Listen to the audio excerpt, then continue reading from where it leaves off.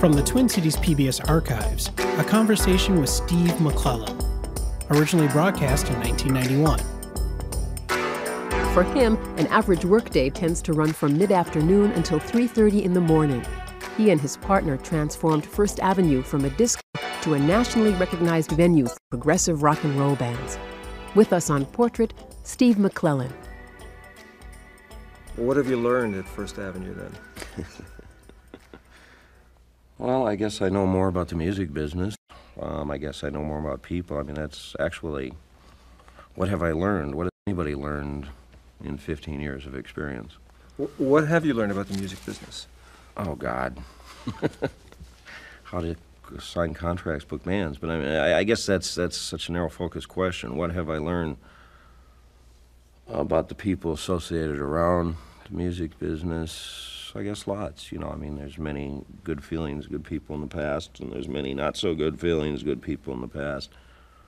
And I, rather than just focus, I mean, the music business, just like I suppose any other realm of the entertainment business, has some kind of a glamour gloss to it, and it's it's really not any different in terms of why people stay in it, why people do what they do. I mean, wh- what have I learned in the last 15 years? I, I would say it's been I've been thrown into an area where I associate with people more in the music business that I do in the banking industry.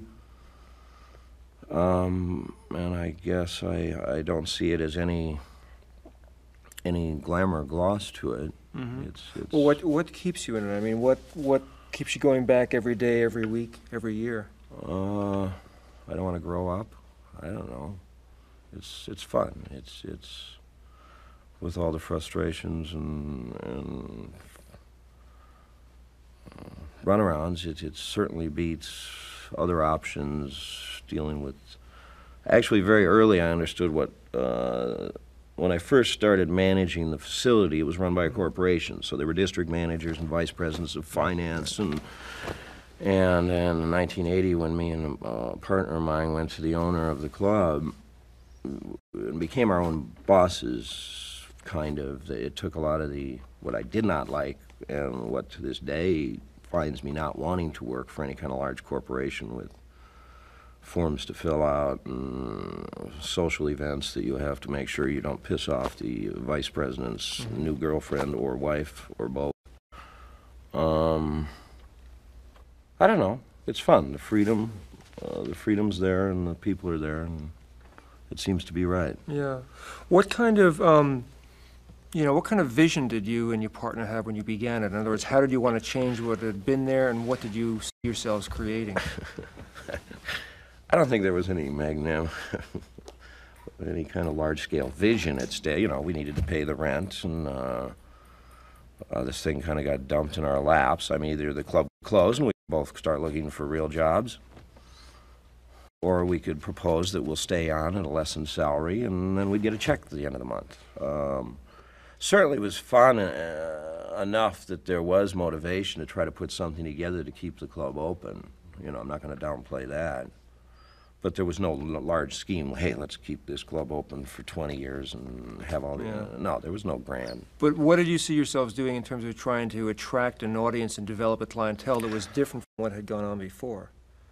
I mean, you obviously must well, have seen I mean, yourselves as capable of doing that. Anything that had been done. I mean, at that time, video was not anything introduced to clubs, so there was some kind of a video installation installed, and, and I think the concept of booking progressive music is not a novel thing. I mean, it's very easy to get bands nobody's ever heard of because the talent just needs to be seen, and if nobody wants to see them, they're not very marketable in the entertainment. Uh, as a sales commodity in entertainment, you need to have people want to pay to see you. So to do stuff progressive is very easy.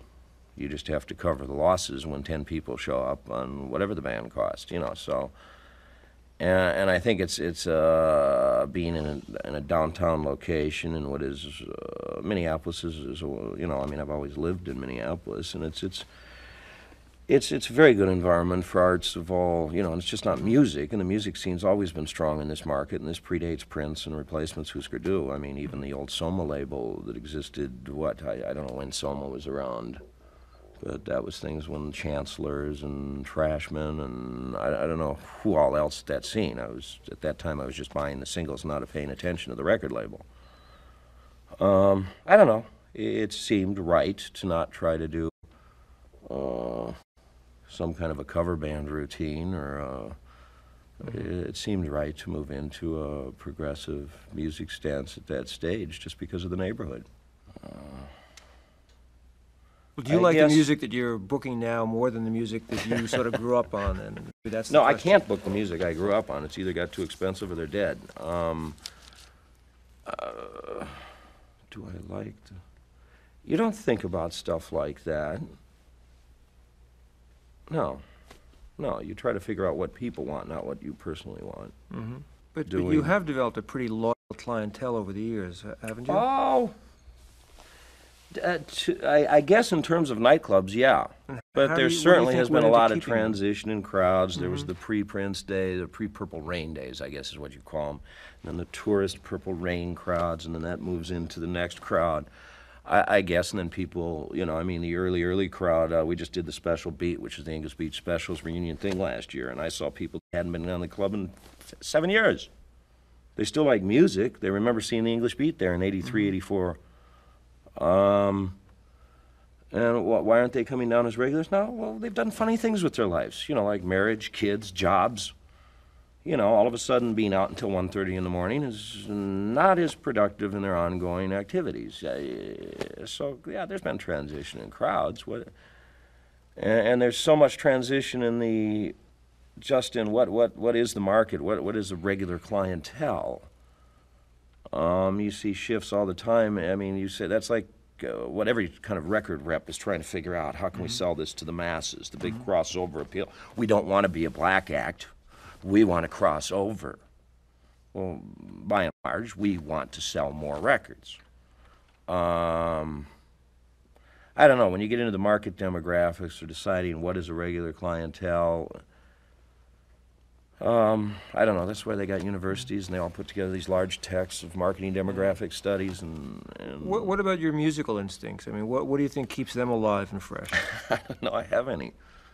Actually, um, I'm But you're making decisions all the time in terms of who you Yeah, I'm book. making decisions based on people far in far better positions to give me their opinions. You know, I depend on. You know, I'm just an administrator. I'm not an administrator. I'm not a critic. I'm not a. I guess my whole attitude there is I've got DJs, soundmen uh, at the club that are far more versed in what's going on musically than I. There's from your, your alternative record stores to your alternative radio stations, those are the people making it happen and are far better positioned to make judgmental decisions. But they're the, also the first variable on the scale of if the, something's clicking with them, they're the ones that's going to feed it to the whatever the street mm-hmm. level public is that's going to come mm-hmm. out and want to see the act. So, you, so you're listening to them all the time. I'm con- I, when I proceed without them, I am lost. What's what's the worst experience you've had in terms of uh, acts that have come through? Worst, we're going to go into this technotronic.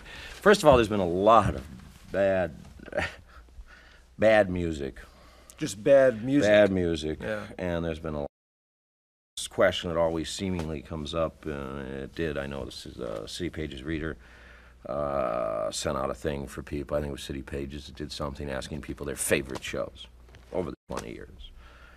And it, it's such, it's one of those, what do you remember most, who you're with, that kind of scenario when you pick this stuff out. So it's, you know, there's certainly been uh, numerous bad and numerous good. Uh, I guess the technotronic uh, thing is bad, the word, the one I think of most, because when you're paying a band five thousand dollars, you expect something.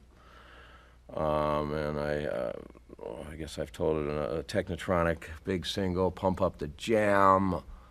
They're getting paid five grand to do two eight-minute sets. Their eight-minute sets are not even eight minutes long, and they do a very bad version, bad meaning not good, of Pump Up the Jam, which is their single, and they didn't want to increase it at all. The stage manager was trying saying, hey, uh, you know, maybe we can do an encore, maybe you can get back up there. No, they don't want to. Their, their feeling was that if they do much more than eight minutes, they lose the attention of their audience. You know, and the reason I said I look at $5,000, and then I look at bands that have made less than that, bands, uh, personal taste-wise, NRBQ, Neville Brothers, Dr. John, that can roll for two and a half hours, and it it's always wonderful.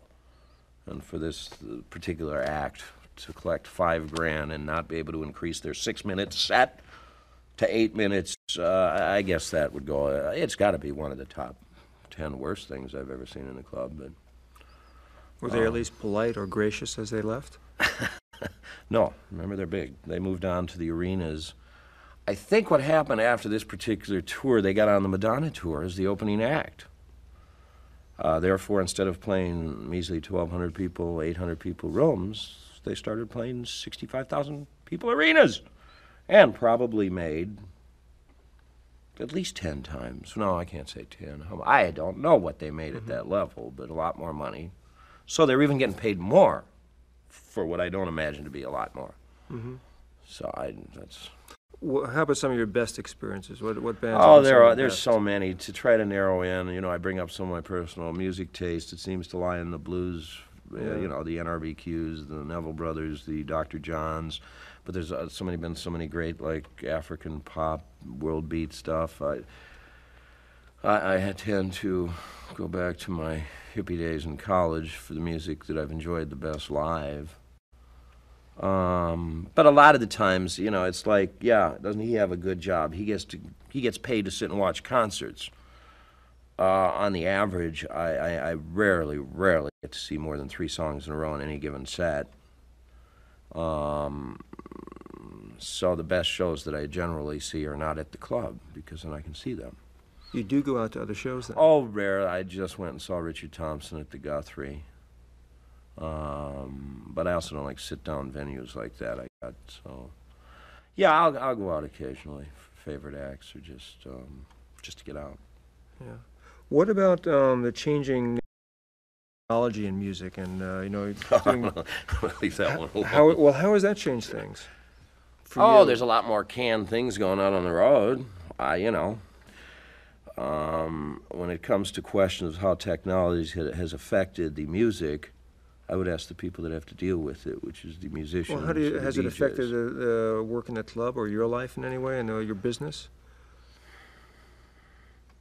Only in the sense, no, not really. I mean, you just have to read what's hitting. I mean, you know, see the things. I, of course, don't like to bring in things. You know, I'm a little bit, uh, in a sense, and I don't know if it's just that old hippie mentality or what. I don't like providing people with bad product.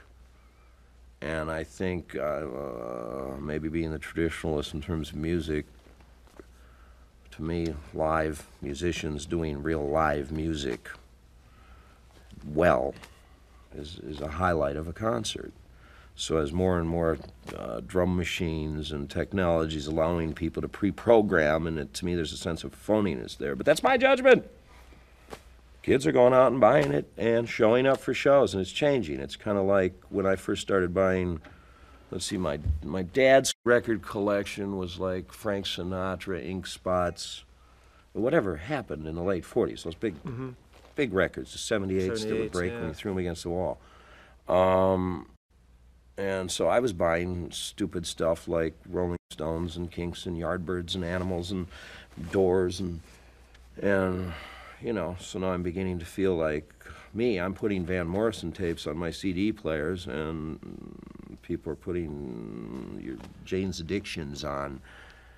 And certainly there is a generation gulf there. So I'm not going to predict what you know. I mean, what new technologies? Uh, my job is again not to provide what I want. What about loyalty over the years? I mean, as a group comes through and uh, then goes on to make it, I mean, how often do you that's- get people coming back? again, this is a re- redundant and loyalty.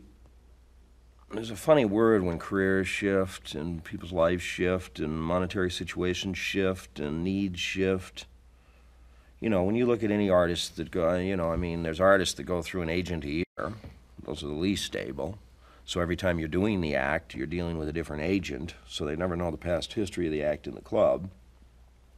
So if you get an act three times through three different agents, I guess you feel pleased that your venue has outdated their own booking agent. Um, I guess a lot of the loyalty, yeah, it's out there. It's out there. It- there's a loyalty factor out there. And I guess what it comes down to is being at the right place, right time, right situation. Because again, you know, the, with the management shifts and the agency shifts, I mean, Sun Ra, uh, I use a specific example that's actually kind of irksome to me right now. I've always got along with the, the manager agent for Sun Ra. So the club has done Sun Ra like four times in the last 10 years. Well, he fired his manager. I don't know what happened here, but ended up with a new agent and is now playing another club in town. Actually, tonight. Tonight. And I feel a little burnt. I've never made money on Sun Ra's. Always put on a great show, but we've always had the opportunity to do them. Well, the agent response when I called and said, you know, I've done Sun Ra. We get lots of press on him every time we do that show. I never got a call. I didn't know he was coming back. And the agent response was, I didn't know he'd ever played Minneapolis. I mean, to me, this is a sharp agent in the business, really checks out his market. Actually, I think the agent was fully aware, but just had different loyalties, and the artist need not be aware of those loyalties and bypassed us.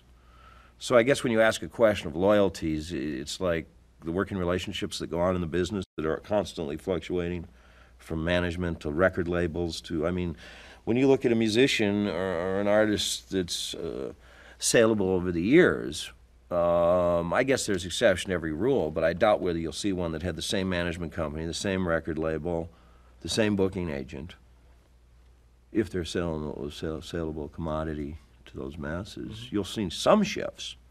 The ones that shift every six months are the least, and the ones that at a certain point in their career say, I need something different. I don't want to play clubs anymore. I want to do theaters. Um, I want an agent that can get me this. In the past, this worked all right, but my music is changing. I need to find an agent that deals with that change. So you'll see those kind of shifts in career.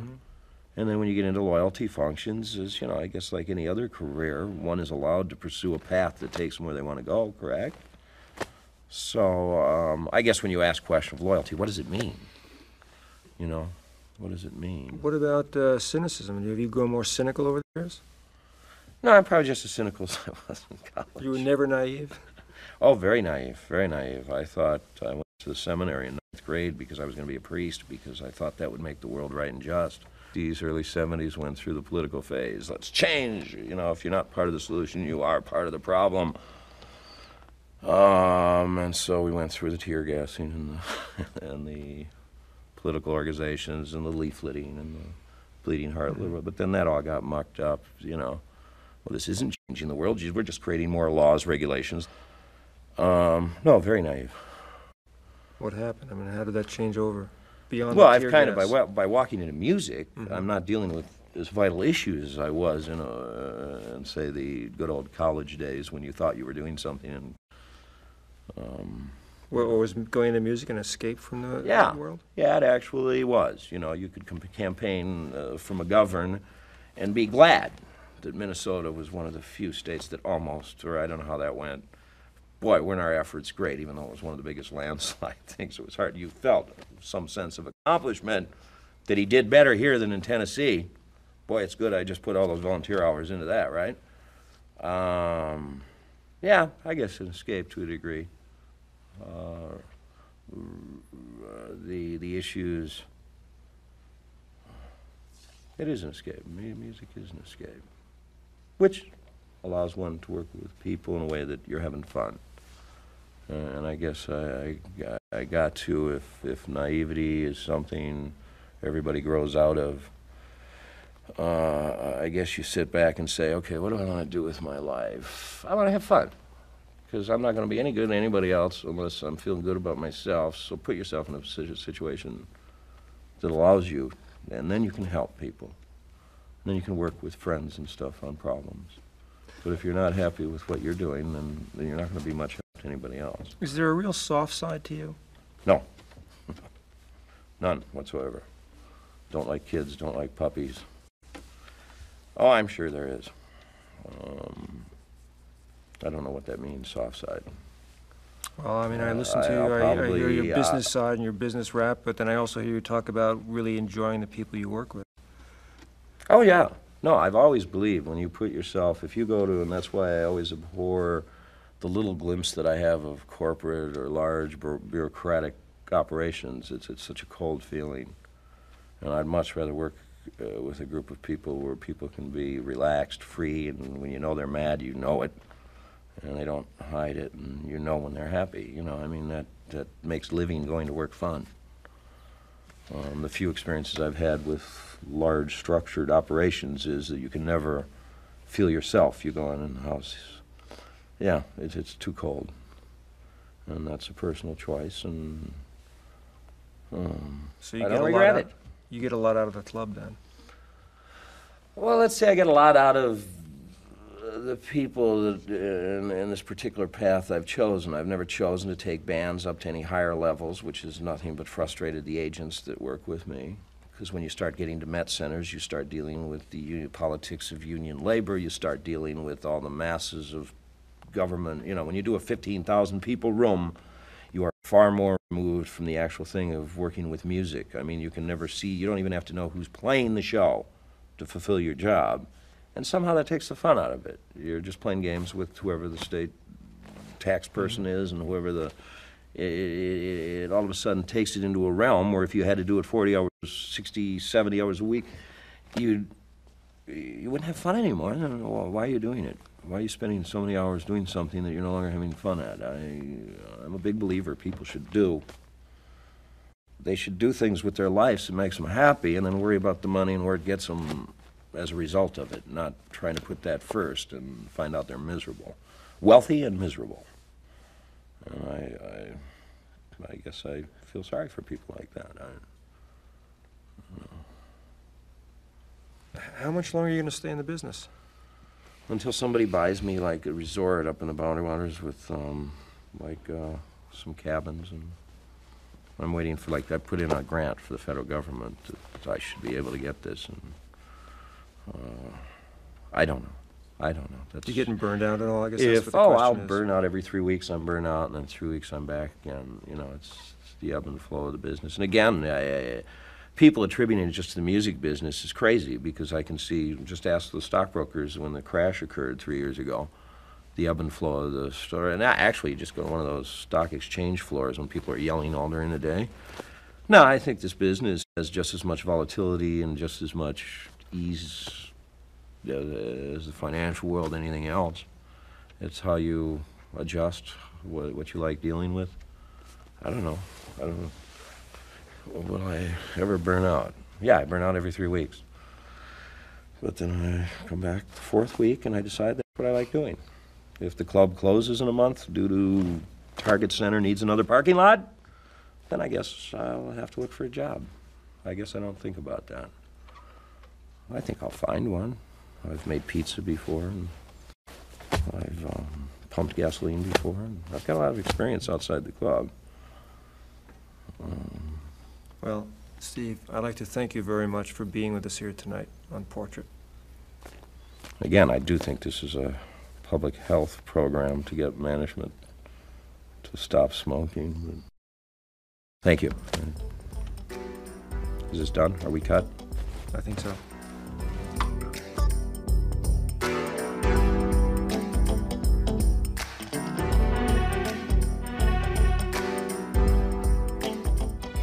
Funding for this TPT archival podcast was made possible by the Minnesota Arts and Cultural Heritage Fund,